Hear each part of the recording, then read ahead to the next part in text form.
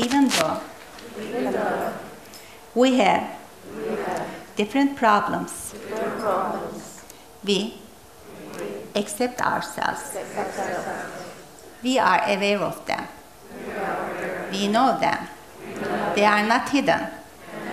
They are ready to wash out. I really want them washed out. Clear all my emotions. I want to heal. I want to heal. I can do it. I can do it. I can do it. I'm a brave lady. I'm a brave lady. And they are all brave men here.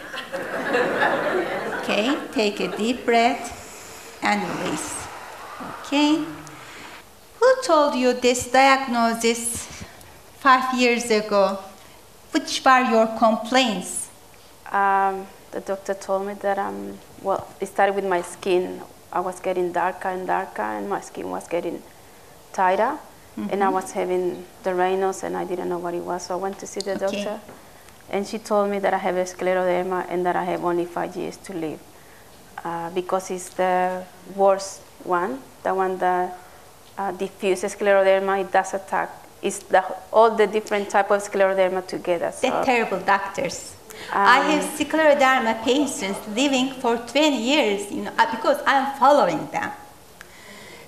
That terrible doctor, That terrible doctor, she or he, she. that bitch, told me that told me I have that I have only five years to live. only five years to live. And look, it has been five years. And look, it's been five years. I am here I am here all the day round, all the day around. asking the questions to every master. Every this question to every master. The most talking lady of the conference. I deeply I deeply and profoundly and profoundly accept myself. accept myself. I will go, go to that doctor, I will go to the doctor, that bitch one.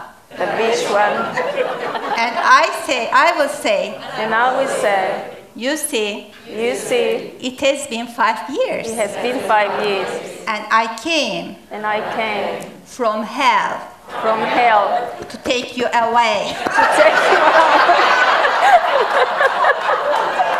Because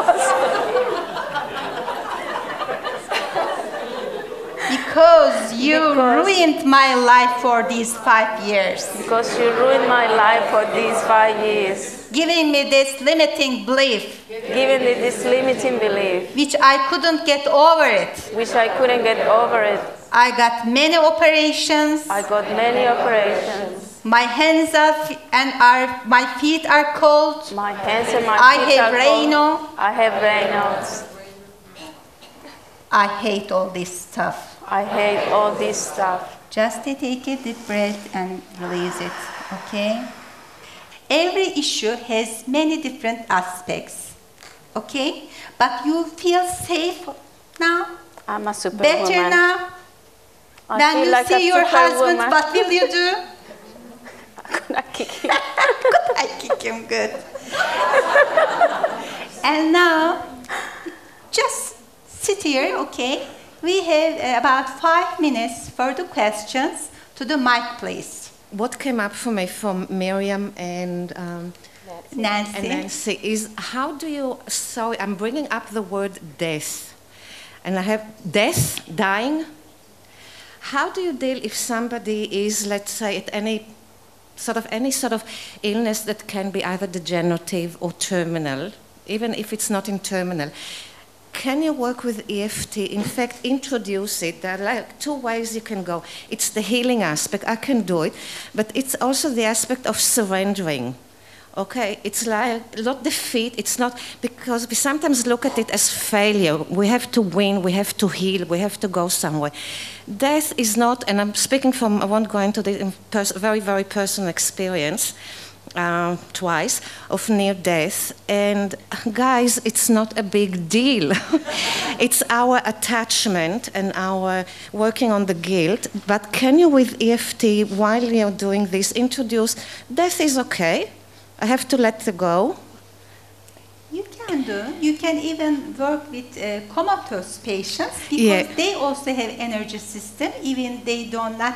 Uh, their brain is not answering you at the time, and then beginning to work with a patient. If you think that what if I can fail at this, it's no good.